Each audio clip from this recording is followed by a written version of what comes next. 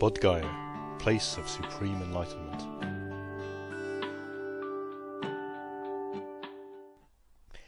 We are entering the town Bodh Gaya, also known as Uruvela in Buddha's time.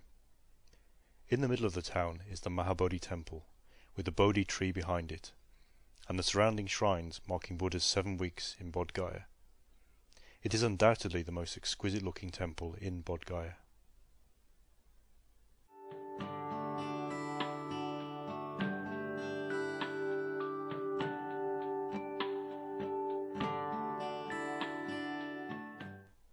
The Mahabodhi temple in Bodh Gaya is the most hallowed place on earth to all Buddhists who come from all over the world to pay homage.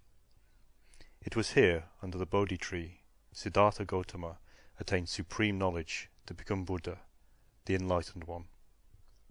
The serenity of the atmosphere remains in the subconscious soul of any visitor who comes to this place on a pilgrimage that the Lord himself had chosen for meditative contemplation.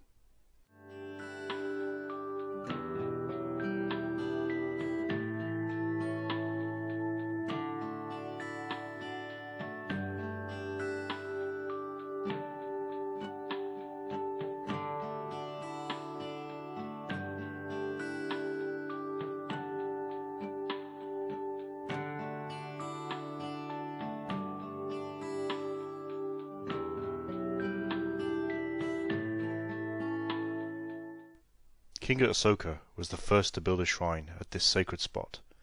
In the first century AD, two Sunga queens enlarged the Bodhi shrine, and in the second century AD, the Kushan king Huviska built a temple on the site to install a Buddha image, which was then in vogue.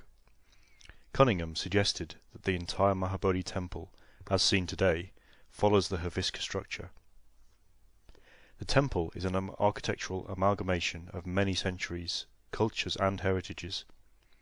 While its architecture has a distinct stamp of the Gupta era, it has later ages inscriptions describing visits of pilgrims from Sri Lanka, Myanmar and China between the seventh and tenth century AD. It is perhaps still the same temple Huensang visited in the seventh century. As it was built over the remains of the Asoka shrine, the position of the diamond throne remains unchanged. Inside the temple one comes face to face with a great gilded image of the tenth century Buddha statue, in earth touching posture, to signify the earth as witness to his perfections when Mara challenged him. It marks the actual spot of the seat of enlightenment. The statue is supported by a pedestal decorated with figures of lions and elephants. At the back of the Mahabodhi temple is the Bodhi tree, under which the Buddha attained supreme enlightenment. It is a pipal tree (Ficus religiosa), also known in Pali as Assattha. A red sandstone slab now marks this holy spot. It is the secondary Vajrasana. After enlightenment, Buddha spent the first week in meditation under the Bodhi tree, experiencing the bliss of arahantship.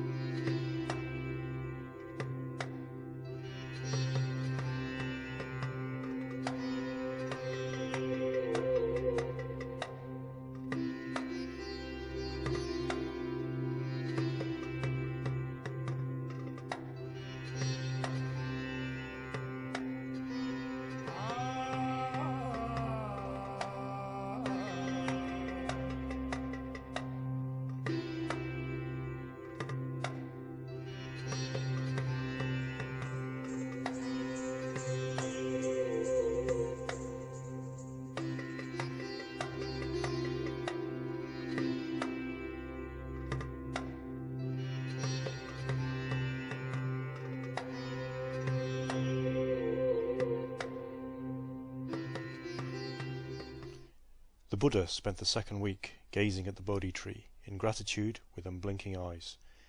The Animisalokanna Chaitya, seen at a distance, marks the exact site. The Buddha spent the third week in walking meditation along a cloister called Chankama beside the Bodhi tree. A concrete platform now shows the site, and this uncovered area marks the exact spot where his feet touch the ground. රුවන්ගේ එදා දෙවියන් වහන්සේ විසින් ලෝතුරා බුදුහාමුදුරුවන්ට රුවන් ගයක් මොරන. මේ උතුම් රුවන්ගේ බුදුහාමුදුරු වැඩි ඉන්න වෙලාවෙදී අපේ ශාසනයේ තියෙන ප ဋ ාණ ධර්ම. ඒ වගේම අභිවිශිෂ්ට අභිධම්මෝ ඊටාම ගැඹුරු ධර්මයේ අභිධර්ම. ලෝතුරා බුදුහාමුදුරු මෙනෙහි කරන්නේ මේ උතුම් රුවන්ගේ ඇතුලේ වැඩි ඉන්න. The fourth week was spent in the Ratnagara, jewelled house, reflecting on the Abhidharma. As he contemplated on its deep and profound doctrine, there arose great rapture in his omniscient mind, which caused the body to emit rays of various colours. The Buddha spent the fifth week at the Ajapala Nigrodha tree. This site is located at the bottom of the staircase as one enters the Mahabodhi temple in Bodh Gaya.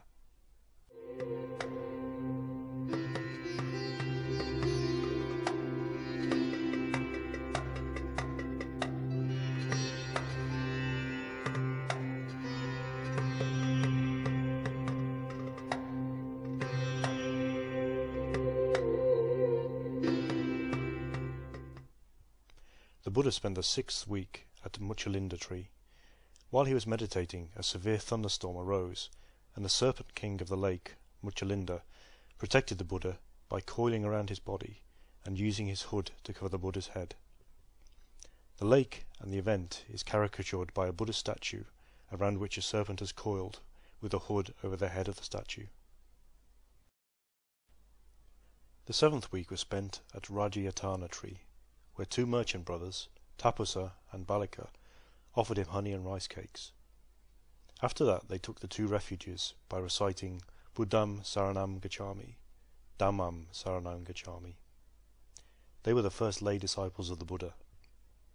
When asked for an object of veneration, the Buddha gave eight locks of his hair.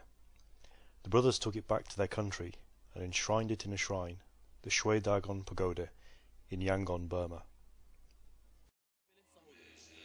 මේ තපස්ස බල්ලුක වෙලෙන් සහෝදරයන්ගේ ගැල් ගණනාවක් එරිතලාව කිරෙනවා. මේව ගන්නට බැරුව නොයේක් පද හිංසාවකින්. ඒ වෙලාවේදී ඥාති දේවතාවෙක් ඇවිල්ලා කියනවා අලුත බුදුහාමුදුරුවෝ බුදු වෙලා ඉන්නවා කියලා දානයක් මුදි කරනවා. ලෝතුරා බුදුරජාණන් වහන්සේට මේ පෙනිහා විරඳ පූජා කරන්න. බුදුහාමුදුරුවන්ගෙන් ධර්මයේ ශ්‍රවණය කරලා ශාසනයේ පළවෙනි වතාවට බුද්ධ ධම්ම කියන දේවාචික උපාසකුරු බවට පත් වුණා කියලා කියන්නේ ඒ තපස්සු බල්ලුක වෙලෙන් සහෝදරයෝ. ඒ විතරක් නෙමේ බුදුහාමුදුරුවනේ ඔබ වහන්සේව දැකලා බලලා වන්දනා කරගන්න අපිට යම් කිසි වස්තුවක් ලබලා දෙන්න. ලෝතුරා බුදුහාමුදුරුව මහානුකම්පාවෙන් යුතුව අටවතාවක් කිසాత ගාලා කිසි ධාතු මිටක් පරිත්‍යාග කළා. මේගොල්ලන් බුරුමීට කියලා බුරුම් ප්‍රදේශයේ ශේතගෝණ කියලා චෛත්‍ය නිර්මාණය කරලා ලෝතුරා බුදුහාමුදුරුවන්ගේ කිසි ධාතු තැන්පත් කරනවා. දැන් එන කවුද?